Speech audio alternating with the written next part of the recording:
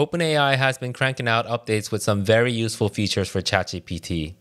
In this video, I'm going to focus on three of them which I find most useful.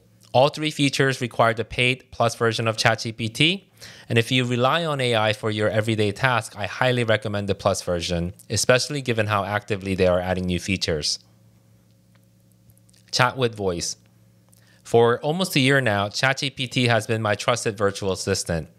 But typing my prompts and reading the responses back on a computer screen or phone screen means that I have to be actively engaged in our conversation.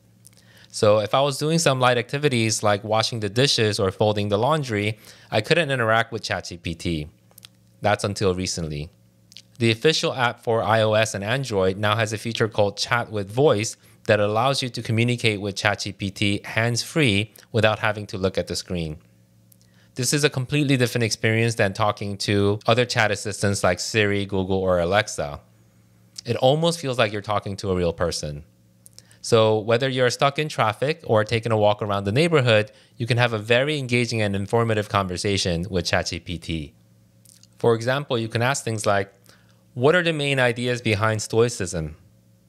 Absolutely discussing Stoicism is quite interesting. So, Stoicism is built around mastering self control, developing clear judgment, and cultivating inner peace.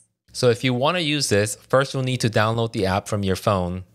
On the iPhone, go to the App Store and type ChatGPT. Make sure you choose the official app by OpenAI. You can do the same in Android using Google Play. Once you open the app, you'll see this little headphone icon you can tap to use chat with voice. It takes a couple of seconds to connect, then it'll prompt you to speak. I'll exit out of here. The first time you use this feature, it'll ask you to select a voice, which I've already done. But if you want to change it, tap on this double line on the upper left corner, then tap your initial. Then under the speech section, choose voice. Then select the one you like. Hey, I'm ready to hit the ground running. So if there's anything you'd like me to focus on. Hey there. I've got a really great feeling about us teaming up. And that's it. Not only is this useful, it's truly a fun and engaging experience. I highly recommend you give it a try. Custom instructions.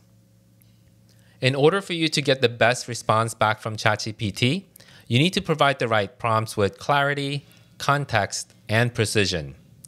If you provide a generic prompt, you get a generic response back. For example, let's ask ChatGPT to explain what cells and microorganisms are. And it gives us a response which is fine for most general audiences. But now let's say that you're a science teacher in middle school and you're teaching various science related concepts to your seventh grade students. This is an important context to provide to ChatGPT so that it can tailor its responses. So let's type that in. I am a middle school teacher who teaches science for seventh graders. I want to explain the concept of cells and microorganisms in a fun and engaging way that uses analogies that 10 year olds would be able to understand.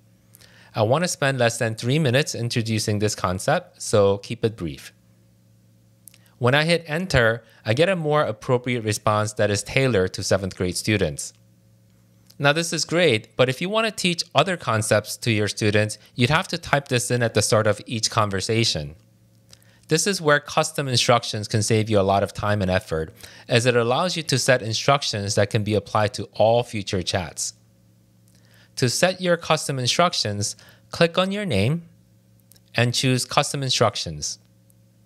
Then toggle on Enable for New Chats. Now we can share some details about ourselves and how we plan on using ChatGPT. We're essentially providing the context here.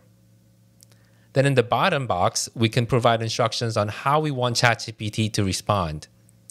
We can write things like output the response in bullets, table form, use polite tone, whatever you want.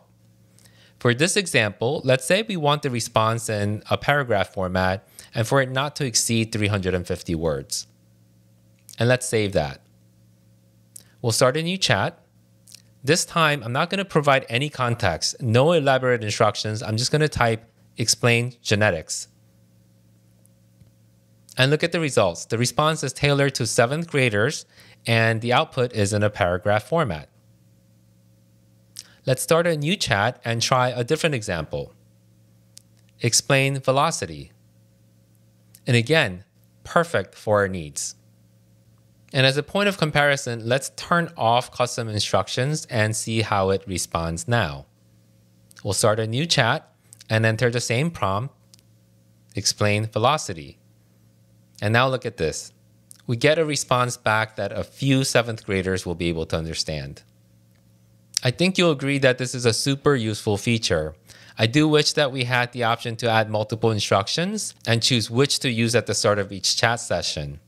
But it does seem like they may be addressing that real soon. DALL-E 3. ChatGPT is now multimodal, which means it can now see, hear, and speak.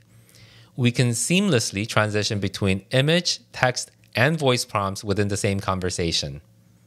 What's interesting is that while I was putting together this video, ChatGPT interface got an update. If you have GPT-4 selected, you can now use DALL-E, internet browsing, and analysis straight from your chat prompt without having to switch between the three modes. With that said, I'm really excited that we can now create images via text prompt using DALL-E 3 directly from within ChatGPT. Let's try this. Let's type in create an image of a snowman in a backyard. It returns two images at a time, and they're amazing images right off the bat. Super impressed. However, the image style is kind of plain and generic. We can get a more stylized image by providing more descriptive image captions. This paper from OpenAI provides some instructions and examples for generating better images. There are some great examples here. I'll copy this one and paste it to our prompt and make some changes and change some of the details to make it about a snowman. Now we get much more stylized images back compared to the first set. And if we enlarge one of the images, you can see the texture details in the snow, which is simply amazing.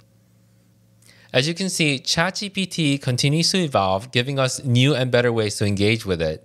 There's just a ton of innovation happening in this space. It's really hard to keep up.